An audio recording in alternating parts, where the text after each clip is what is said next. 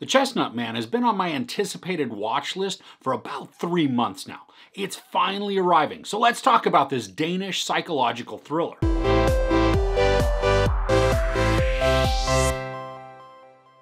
Two detectives hunt a killer who leaves behind a creepy calling card small figures made of chestnuts. The series is shrouded in mystery, where we have two detectives assigned to a murder case that's pretty gruesome, and then a little man made out of chestnuts is found near the victim.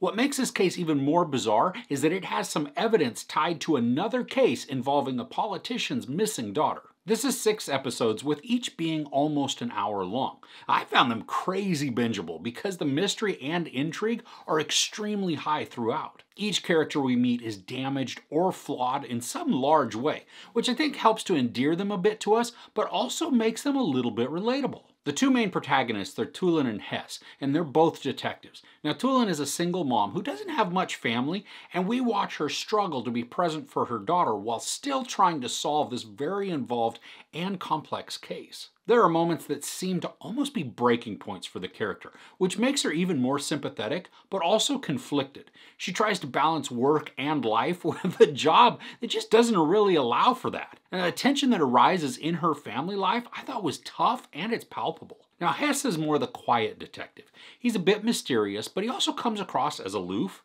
He clashes with most people, but that doesn't take away from his skills as a detective. And I love how driven he is, especially in his intensity. Now, he's certainly odd, but it also comes across as charming in small instances. Another large driver for the story is a politician, her husband, and their son. Now, their daughter went missing a year prior, and they're only now beginning to put the pieces back together in their lives. When evidence that ties the missing daughter to the new crimes is discovered, I mean, it sets off all kinds of new conflict for the family. It's reopened wounds, but even more importantly, it creates new avenues of mystery that just need to be examined. I appreciate the way the story looks at the family's grief. It shows the growth that is occurring, but also the struggle they make each and every day to continue their forward progress. Now, at first I thought this series was going to be sort of a slow burn because the first episode is fairly patient in its pace. And I like that it takes the time to establish a lot of the characters as well as provide some background for what's going on. Not all of the background makes sense right off the bat, but that's good because if it did, it would spoil the suspense. Now, as the show gets into episode two, crap starts to hit the fan and the show begins to ramp up in just about every facet. The tension rises, the mystery becomes more complex, red herrings are introduced, as well as some misdirection, and then all the while the characters are gaining more development that could make you start to guess who the perpetrator is. Now, funny enough, I did guess the perpetrator somewhere near the middle of the show, and I'm not sure what caused that guess, but I then dismissed it, and I proceeded to make about five more predictions and guesses at who I thought was behind everything. That guessing game was so fun because small clues would begin to be unveiled, and in true whodunit fashion, the clues aren't outright obvious and can point to a few different possibilities. I love how there are multiple times throughout the show that introduces some new twists and complications, which then add another layer to everything that's going on. Now, sometimes the outcomes of those are a little obvious, especially if a scenario was going for misdirection. Now, when we get a scenario towards the beginning of a mystery series, we can be pretty certain that it's not going to solve the whole case, because, I mean, then the show would just be over. And what do you do for the remaining episodes? But that being said, even when there are items that clearly aren't going to solve the mystery, there are portions, both visually and audibly, that give additional clues to the overall riddle. So the mystery in this was a lot of fun, but the show also looks good. The weather is overcast much of the time in this, so there's a grayish tone to just about everything. And it creates a slightly depressing atmosphere, which then complements the ominous and gloomy storyline. I thought the cinematography was beautiful, and the camera work puts us into the center of the mystery. We're placed far enough away from the subject to just take it all in as observers, but there are some moments where we're thrust really close to the action, which then makes certain scenes very thrilling. The settings are also used really well to put us in locales that I think are eerie.